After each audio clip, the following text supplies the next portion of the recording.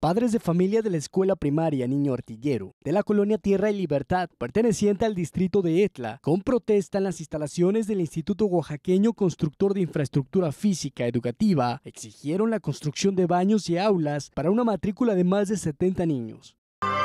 Y mire, nuestra petición pues está clara, ¿verdad?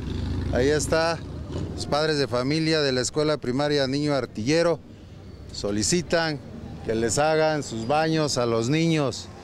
20 años en unos baños de muy malas condiciones están usando ahí los pobres niños, ¿sí?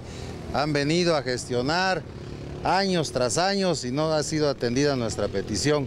Ahorita esperemos que con este acuerdo, sí, para el 11 de junio se esté llevando a cabo ese trabajo.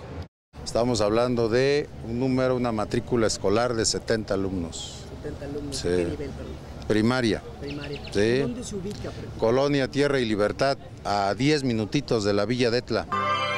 Los inconformes con pancartas pidieron un alto a las injusticias y a la indiferencia por parte de las autoridades, pues la educación en estas condiciones indignantes no se puede disfrutar. También los salones que están en, en malas condiciones ahí, sí, están por caerse ahí los salones, están muy dañados y también ahí está clarito lo de las aulas también y eso venimos solicitando aquí. Los manifestantes, quienes al final lograron acuerdos para empezar a edificar estos inmuebles para el 11 de junio, denunciaron que llevan más de 20 años viviendo en estas condiciones y ninguna autoridad, a pesar de la insistencia de los padres y maestros, han hecho algo al respecto. Nada más que creo que como padres no hay necesidad de todo esto si en verdad nos atendieran esas oficinas.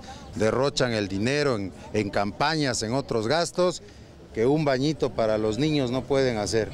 ¿Sí? Entonces eso es lo que estamos pidiendo y ojalá se cumpla ahora sí. Con imágenes de Adrián Rodríguez, informó para MBM Televisión Daimo Sánchez.